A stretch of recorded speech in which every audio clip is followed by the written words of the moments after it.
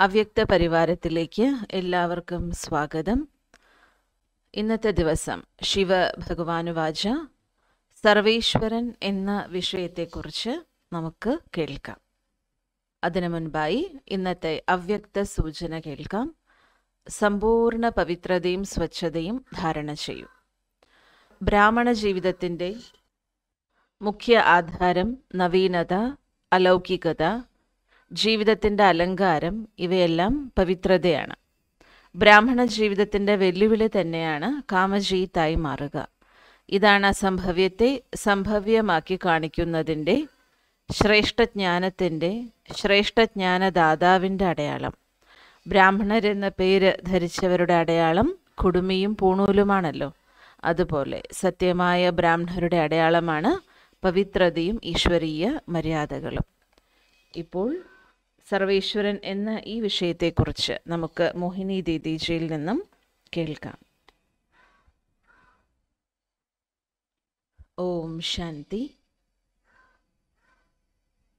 നമ്മൾ ഇന്നലെ കേട്ടു വളരെ നല്ല രീതിയിൽ അനുഭവമുണ്ടായി. ഇന്ന് അഭ്യാസം ചെയ്തു നമ്മൾ പവിത്രതയിലൂടെയാണ് അതീന്ദ്രിയ സുഖത്തിന്റെയും സൈലൻസിന്റെയും അനുഭൂതി ഉണ്ടാകുന്നത്. ബാബയുടെ ഏതെങ്കിലും ഒരു വിശേഷ ഗുണം എടുത്ത് നാം പ്രാക്ടീസ് ചെയ്യുന്നുണ്ടല്ലോ. അതിലൂടെ ബുദ്ധിയുടെ ഏകാഗ്രത ബുദ്ധി ബാബയുമായി കണക്ട് ചെയ്യാൻ സാധിക്കുന്നുണ്ട് ഒരുപാട് സമയം. ഇന്ന് അമൃതവേളയിൽ എഴുന്നേറ്റപ്പോൾ മനസ്സ് വളരെ ശാന്തമായിരുന്നു. വളരെ നല്ലൊരു അനുഭവമായിരുന്നു ഇന്ന്. സ്വാഭാവിക ശാന്തി എന്താണെന്നുള്ളത് എനിക്ക് അനുഭവിക്കാൻ സാധിച്ചു. പലതരത്തിലുള്ള സങ്കല്പം മനസ്സിൽ നടന്നുകൊണ്ടിരിക്കുമ്പോൾ അത് പെട്ടെന്ന് സൈലൻസ് ആകുമ്പോൾ ആത്മാവിന് ഇത്രയും ശക്തിയും ശാന്തിയും കിട്ടുമല്ലോ? സന്തുഷ്ടതയും ലഭിക്കും. ഇങ്ങനെ അനുഭവപ്പെടുന്നുണ്ടായിരുന്നു. ഈ രീതിയിലുള്ള സ്ഥിതി എത്ര സമയം കൂടുതലുണ്ടോ? അത്രത്തോളം ആത്മാവിന് സന്തുഷ്ടതയുടെ ഫീലിംഗ് ഉണ്ടാകുമെന്ന്. ഞാൻ നമ്മൾ ഇന്നൊരു പുതിയ ഹോംവർക്കാണല്ലോ എടുത്തത്. ഭോഗ് വയ്ക്കുമ്പോൾ ബാബ പറഞ്ഞിരുന്നു എന്റെ തിരിച്ചറിവ് എന്റെ പരിചയം വാക്കുകളിലുണ്ടെങ്കിലും വാക്കുകളിലൂടെ മറ്റുള്ളവർക്ക് മനസ്സിലാക്കി കൊടുക്കുന്നുണ്ടെങ്കിലും പൂർണ രീതിയിൽ എത്രത്തോളം നമ്മുടെ പവിത്രതയുടെ യോഗത്തിന്റെ അവസ്ഥ വർദ്ധിപ്പിക്കുന്നു. ബാബ ഓരോരോ കുട്ടിയിലും വ്യത്യസ്ത രൂപത്തിലാണ് പ്രത്യക്ഷമാകുന്നത്. ബ്രഹ്മബാബ് എങ്ങനെ ശിവബാബയെ കണ്ടു? എങ്ങനെ മനസ്സിലാക്കി? ബാബയുടെ സമർപ്പണത. ബ്രഹ്മബാബ സമ്പൂർണമായും ശിവബാബയിൽ അർപ്പണമായല്ലോ. പൂർണമായും ട്രസ്റ്റിയായി ഒരിക്കലും ബാബയുടെ ഒരു നിമിഷം പോലും വിശ്വാസത്തിന് കുറവുണ്ടായിരുന്നില്ല ശിവബാബയോട്. അത്രയും ശിവബാബയെ നല്ല രീതിയിൽ തിരിച്ചറിഞ്ഞു. നമ്മളുടെ തിരിച്ചറിവെന്ന് പറയുന്നത് നമ്പർ വൈസാണ് എത്രത്തോളം മുന്നോട്ട് പോകുന്നു അതിനനുസരിച്ച് ബാബയെ നമുക്ക് ഒന്നുകൂടി നല്ല രീതിയിൽ തിരിച്ചറിയാൻ സാധിക്കുമായിരുന്നു. നമ്മളിലും അങ്ങനെ തന്നെയാണ് എന്നിലും അങ്ങനെ തന്നെയാണ് ഏറ്റവും ഉയർന്ന ഭഗവാൻ ബാബയുടെ രൂപത്തിൽ സരള രീതിയിലാണ് നമ്മെ ദത്തെടുത്തിരിക്കുന്നത്. ദത്തെടുത്തതിന് ശേഷമാണല്ലോ കഥ ആരംഭിക്കുന്നത്. ബാബയുടെ ശ്രീമത്തിനെ നമ്മൾ എത്രത്തോളം പാലിക്കുന്നുണ്ട്. ആ പാലന പോലും തിരിച്ചറിവിലൂടെയാണ് ഉണ്ടാകുന്നത്. എത്രത്തോളം തിരിച്ചറിയുന്നു അതിനനുസരിച്ച് ശക്തി ലഭിക്കുന്നു ശ്രീമതം പാലിക്കുന്നതിൽ. മംഗളകാരിയായിട്ടുള്ള പിതാവാണ് ശിവബാബ. ബാബ എങ്ങനെ നമ്മുടെ മംഗളം ചെയ്യുന്നു? ഓരോ നിമിഷം ഓരോ സങ്കല്പത്തിലും ബാബ നമ്മൾ കുട്ടികളുടെ മംഗളം ഏതിലാണ് അടങ്ങിയിരിക്കുന്നത്? എങ്ങനെ ചിന്തിക്കുന്നതിലാണ് നമ്മുടെ മംഗളം അടങ്ങിയിരിക്കുന്നത് എന്നതിനെക്കുറിച്ച് എന്ത് ചിന്തിക്കുന്നതിലാണ് ആത്മാവിന്റെ മംഗളം ഉണ്ടാക്കാത്തത് എന്നതിനെക്കുറിച്ചും ബാബ നമുക്ക് പറഞ്ഞു തന്നിട്ടുണ്ട്. ഇന്ന് നമ്മൾ സർവേശ്വരൻ എന്നുള്ള ടോപ്പിക്കാണ് എടുക്കുന്നത്. സർവരുടെയും ഈശ്വരൻ. ഏതൊരു ധർമ്മം ഏതൊരു അംഗീകാരങ്ങൾ വിശ്വാസങ്ങൾ ആരൊക്കെ എന്തൊക്കെ ചെയ്താലും ഈശ്വരൻ ഒന്നാണെന്നുള്ളത് എല്ലാവരും മനസ്സിലാക്കുന്നുണ്ട്. സത്യമാണ്. ബാബ സ്നേഹസാഗരനാണല്ലോ. സർവരെ പ്രതിയും ബാബയുടെ സ്നേഹമുണ്ട്. ബാബ ഡ്രാമയെ സാക്ഷിയായി കണ്ടുകൊണ്ടിരിക്കുന്നുണ്ട്. ഓരോ ആത്മാവിനും അവരവരുടെ പാർട്ട് എല്ലാം വ്യത്യസ്തമാണല്ലോ. എല്ലാം ബാബ സാക്ഷിയായിട്ട് വീക്ഷിച്ചുകൊണ്ടിരിക്കുന്നു. പക്ഷെ നമുക്കത് സാക്ഷിയെ കാണാൻ സാധിക്കുന്നില്ല ബാബയെ പോലെ.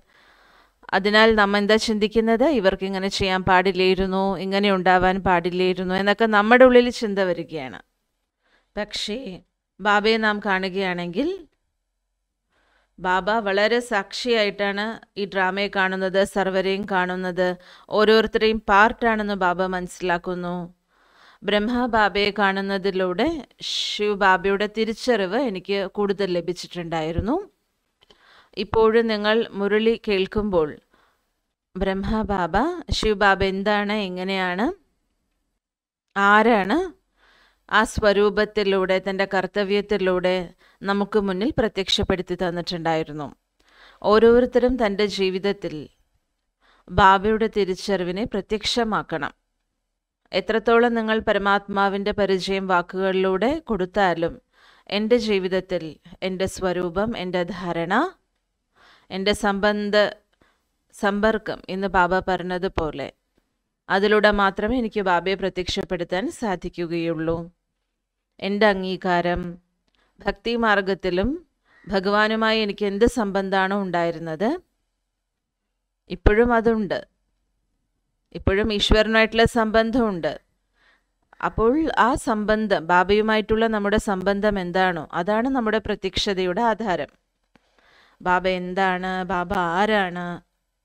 ബാബ മുരളിയിലൂടെ സർവത് മനസ്സിലാക്കി തരുന്നുണ്ടെങ്കിലും ബാബയുടെ അനുഭൂതി ചെയ്യുക ബാബയെ അനുഭവം ചെയ്യുക ആ അനുഭവത്തിലൂടെ ദിവസം മുഴുവനും ബാബയുടെ ഓർമ്മ ആ രീതിയിൽ നമുക്ക് നിലനിർത്താൻ സാധിക്കും. അപ്പോൾ സർവരുടെയും ഈശ്വരൻ ബ്രഹ്മ ബാബയും സർവരെയും സ്നേഹിക്കുമായിരുന്നു. പ്രകാശ്മണി ദാദിജി ജാൻകി ദാദിജി എല്ലാം സ്നേഹമൂർത്തികളായിരുന്നു. അപ്പോൾ ബാബ എനിക്ക് ഈ ഒരു സൂചന എന്ന് നൽകിയിട്ടുണ്ടായിരുന്നു. കുട്ടി എന്നെ യഥാർത്ഥ രീതിയിൽ തിരിച്ചറിയൂ എന്ന്. നമ്മൾ പറയാറുണ്ട് ബാബയ്ക്ക് സമാനമായി തീരണമെന്നൊക്കെ. പക്ഷേ ബാബയെ തിരിച്ചറിഞ്ഞു. സത്യമായ രൂപത്തിൽ ബാബയുടെ ഗുണങ്ങളുടെ ആധാരത്തിൽ കർത്തവ്യത്തിന്റെ ആധാരത്തിൽ ബാബയുടെ സ്ഥിതിയുടെ ആധാരത്തിൽ ഇത് വളരെ ആവശ്യമാണ്. ജീവിതത്തിൽ ഇത് വളരെ നല്ലതായിട്ട് നമുക്കും അനുഭവപ്പെടും. ബാബയുടേതായിട്ട് മാറിയെങ്കിൽ എന്തുകൊണ്ട് ബാബയെ പൂർണമായി നമുക്ക് തിരിച്ചറിഞ്ഞൂടാ? തന്റെ ജീവിതത്തിൽ ബുദ്ധിയോഗം ബാബയുമായിട്ട് യോജിപ്പിക്കണം. അതും സത്യമായ തിരിച്ചറിവിലൂടെ നമുക്ക് ബുദ്ധിയോഗം യഥാർത്ഥ രീതിയിൽ വയ്ക്കാൻ സാധിക്കുകയുള്ളൂ. ഈ സത്യ തിരിച്ചറിവിലൂടെ നമ്മുടെ ജീവിതയാത്ര മുന്നോട്ട് കൊണ്ടുപോകണം. ശിവ ഭഗവാന്റെ മഹാവാക്യങ്ങൾ സർവേശ്വരൻ ബാപ് ദാദ വിശ്വസ്നേഹിയാണ്. ബാബ സർവരുടെയും സഹയോഗിയുമാണ്. ബാബ സർവരുടെയുമാണല്ലോ. ബാബയുടെ മേൽ സർവർക്കും അധികാരവുമുണ്ട്. ഓം ശാന്തി.